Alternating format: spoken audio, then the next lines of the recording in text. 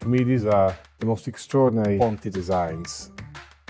When we sold Casa di Fantasia, I remember looking at the pictures of these two pieces and wondering where they ended up because they weren't part of the consignments, what came from the apartment. And when I came across them, my breath was taken away. I could not believe that we had the opportunity again to present them to the market. The use of the bare walnut, the idea of the metaphysical surface, which you can imagine within the backdrop of Casa di Fantasia was even more accentuated. I think sometimes design, when it's at its best, looks like architecture, or you can think of the same object at a different scale, and it could become a building.